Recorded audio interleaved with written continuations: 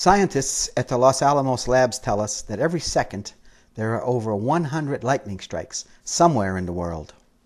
That adds up to nearly 9 million every single day.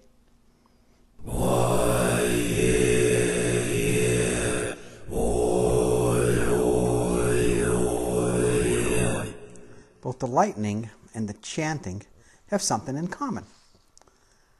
It's called Schumann waves. Lightning creates them, and the chanting is trying to imitate them. They are the natural frequency of the earth. The air we breathe and the water we drink are just two of the necessities of life. The other one is lightning.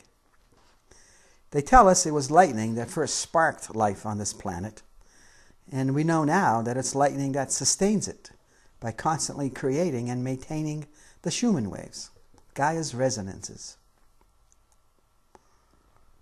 We live immersed in the matrix of oscillating energy fields, all of them unheard and unseen. All living things that have ever been on earth have been bathed with this natural frequency. Ever wonder why going outside feels so wonderful? It's because you feel the Schumann resonance. You feel the Schumann waves. That little band of blue in all the vastness, vastness of space, that tiny little band is where we live and love and die. That's where the Schumann waves travel. They are exactly the same frequency as our EEG measured brain waves.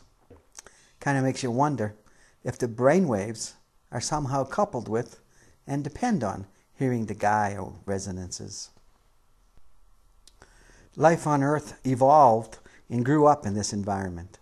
We desperately need to stay connected with these waves. They affect our moods and our well being. Remember how the astronauts that went to the moon couldn't even stand up when they returned? That's because their physical condition deteriorated so badly while in outer space, away from these Schumann waves. Now, for the shuttle astronauts, NASA created a device that can mimic the Schumann waves and keep the astronauts well. The synthetic man made electromagnetic emissions cover up this natural frequency. It's part of the basis of our feelings of increased stress and fatigue. We all feel kind of lost, don't we? We've forgotten that we are frequency based beings, and everything depends on us filling ourselves up with the right frequency, on Gaia's resonance. We spend nearly all of our time indoors now, and that's not how it used to be. We really need to spend more time outside soaking in these good Schumann waves. Go to the park.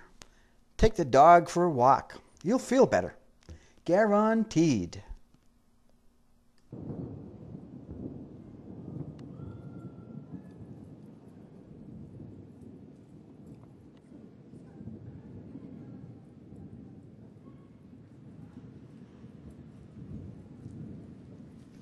There's more information, a lot more information really, on Schumann waves and their effects at these two websites.